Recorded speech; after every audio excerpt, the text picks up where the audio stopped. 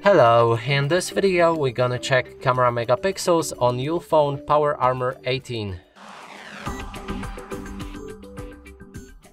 And to do this, first we'll need to visit our website hardreset.info, scroll down and click on read more to reveal basic information. Then scroll down again to multimedia, that way we'll find our camera, uh, rear camera is 108 megapixels and second camera front one is 32 megapixels. And that's it for this video, hope you like it, please consider subscribing to our channel, leave a like and a comment below.